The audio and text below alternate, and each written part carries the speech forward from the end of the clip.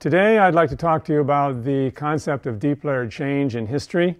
Uh, first, I'll present a rationale for using it as a theme in history courses and as a teaching strategy.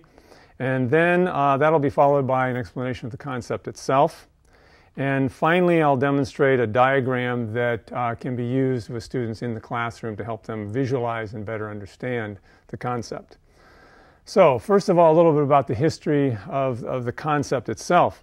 Uh, it originated in France in the late 1920s at Strasbourg University with the founding of the journal Annales d'Histoire économique et sociale by historians Marc Bloch, Lucien Febvre, and Ferdinand Braudel, among others. Uh, the development of this concept was in itself a deep layered intellectual change that took place over many years, partially as a rejection of the strict materialist analysis in favor of one that emphasized the importance of cultural and psychological elements of transformative nature over long periods of time, or what the French historians call le longue durée. Uh, despite this rejection of a strict materialist uh, point of view, however, I think the concept is not really not necessarily at, at, odds with a materialist or Marxist worldview, but that's a discussion for another time. Um, now, many texts do give a nod in the direction of this concept, but don't fully flesh it out in quite the same way as you'll see in this presentation. Um, so, for example, um, we have in Created Equal uh, a connecting history feature, which um, discusses topics as they evolve over time. Um, in Making of America by uh, Berkin, Miller, and Cherny, they use a model of constraint, uh, expectations, constraints, choices, and outcomes that um, demonstrates a dynamic process of history. Uh, the text World Civilizations, the Global Experience, has an in depth feature that prompts the reader to consider far reaching implications of historical developments. And finally, uh, America Past and Present um, takes the approach that goes beyond major events that have helped to shape the nation. Um, but again, none of these approaches defines or presents change over time in the way you'll see it presented here. Uh, as well, all of these texts utilize the traditional straight timeline in their chapter chronologies. Now, the rationale behind the creation of this teaching strategy was my feeling that the traditional straight timeline was not only insufficient, but in many ways an ahistorical and therefore a wrong representation of the historical narrative. The usual timeline we see uh, in virtually every conventional history text is heavily weighted um, toward limiting the historical narrative to convulsive events with specific beginning and ending dates, and to the, limiting it to the actions of great leaders of high birth. Uh, this limitation also tends to alienate students of history by implying that the important changes only come through the genius of efforts of very special people or small influential groups most unlike themselves. So, the role of the unnamed masses and the less well known leaders who inspire um, them to collective action is essentially ignored uh, in this traditional timeline scenario. As a result, the timeline proffers, the straight timeline uh, proffers an artificially time bound and therefore ahistorical conceptualization of human development. Uh, most of history, as we know, in point of fact, is played out over decades, centuries, millennia, uh, merging and blending uh, social, economic, political, technological, and even environmental elements uh, for which there is no beginning uh, or fixed beginning or ending dates that can be easily determined. Uh, this is why historians resort to very often in their narratives uh, to words and phrases such as movement, period, or age of um, in, in their historical narratives.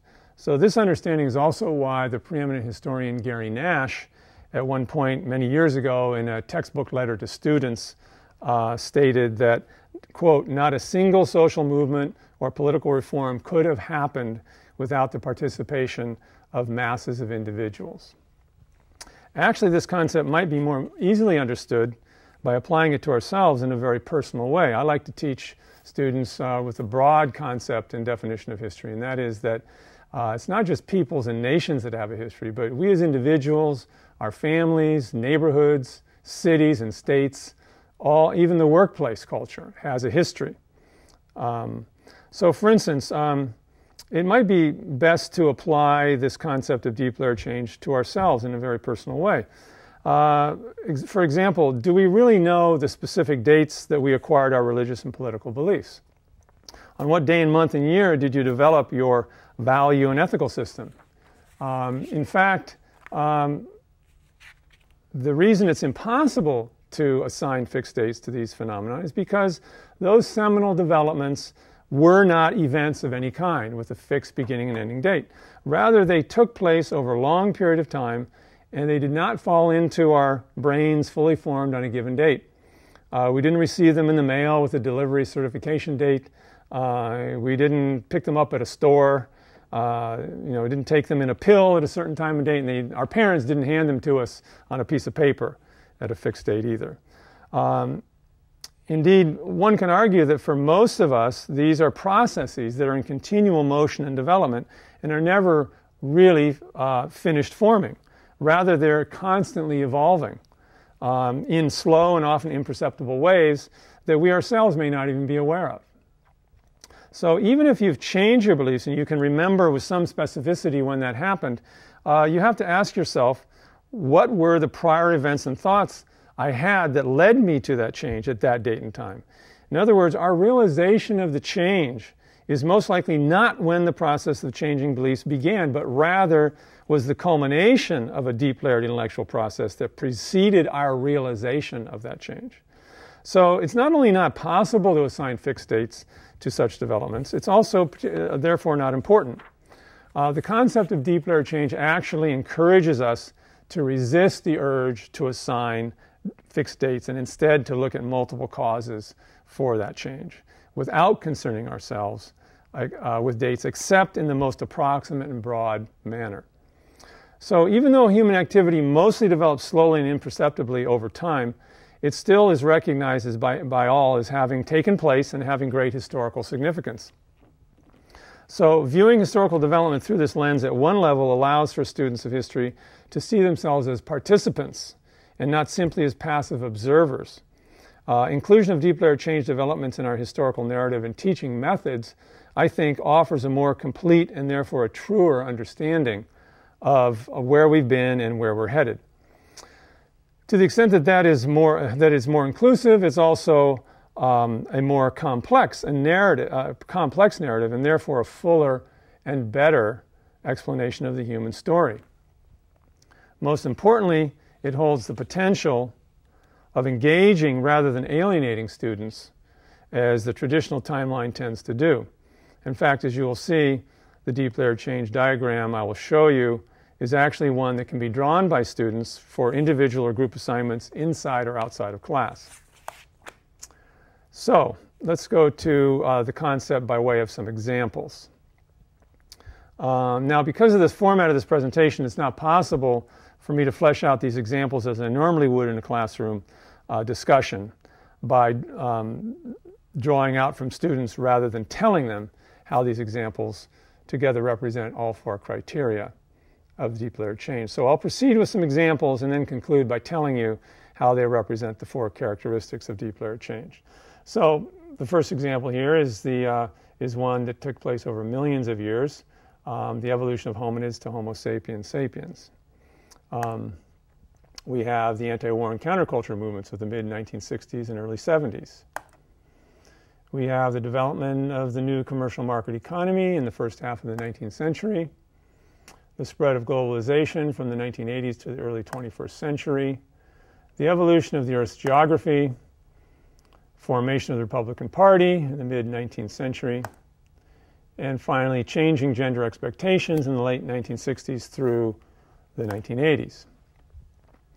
So, how do these examples express deep layered change? Well, uh, number one, you'll notice that they all have only approximate beginning and ending dates, i.e., that is, there's no specific day, month, or year for them. Um, the only time frames we have are such as these uh, that are referenced are done with phrases such as first half of the 19th century, mid 1960s, early 1970s. The second criteria or characteristic of deep layer change is that it takes place over either several years, decades, centuries, millennia, millions, or even billions of years.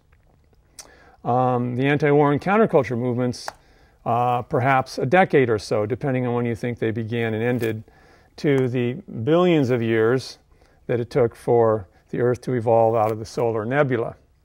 Perhaps the shortest time frame is that of the formation of the Republican Party, um, which happened within a very few years when the nation went from the tenuous sectional peace that existed between the North and the South, attained by the Compromise of 1850, to the collapse of the Whig Party and the splitting of the Democrats, which then led to the formation of the Republican Party only four short years later in March of 1854.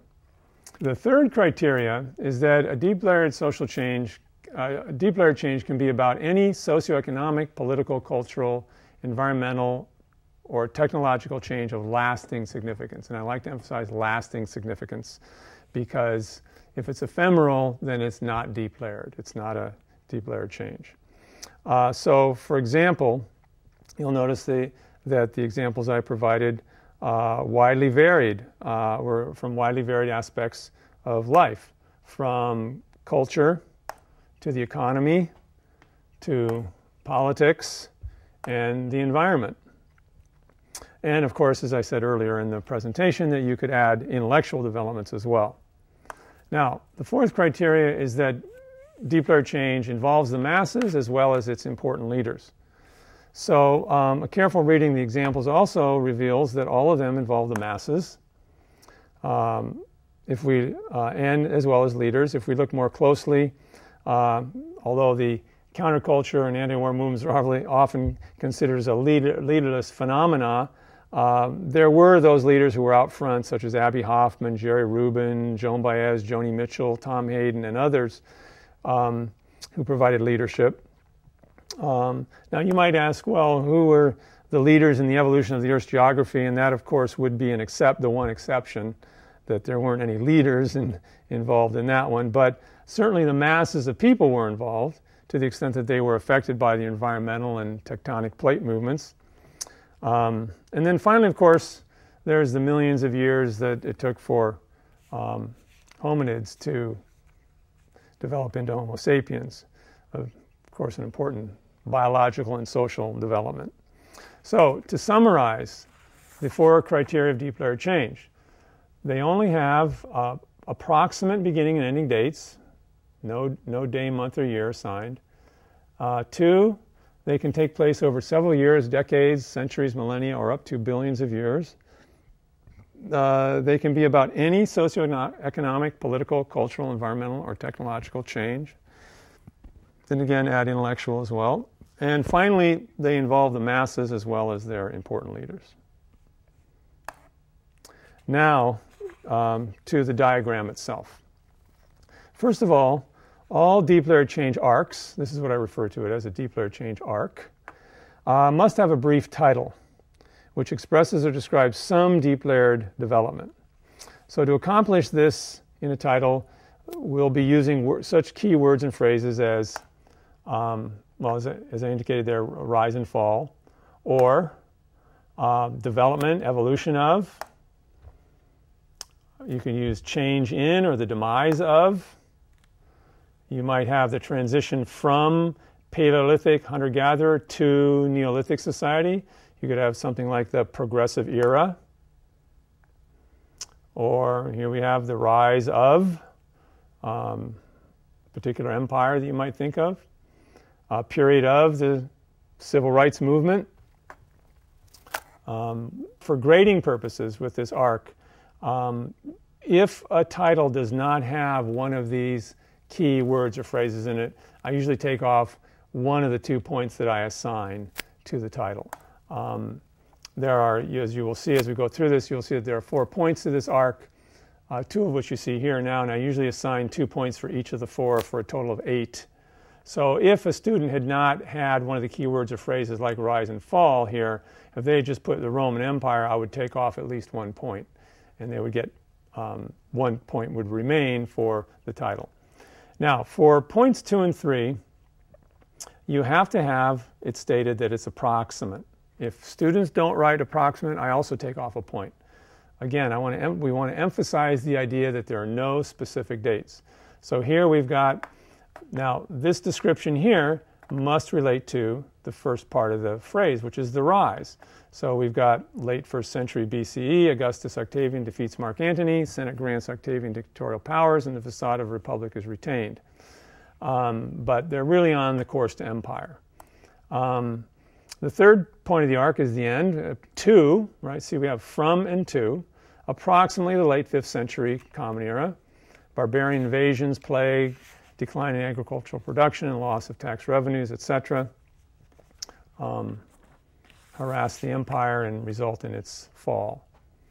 Um, now, the fourth part um, is a simple subtraction of points two and three. Now, you might ask, well, how do you subtract such fuzzy approximate date ranges as these? Well, here you do have to think of two fixed years.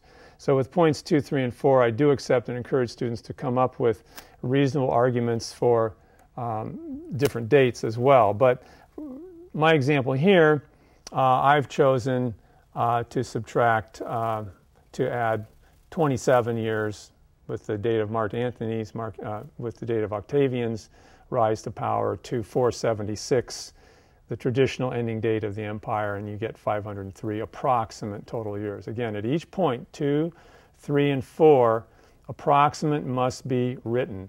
If not, I would take off a point for grading purposes. If the descriptions are good and the number here is right, approximately right, then I would, they would, a student would get a one point for each of those.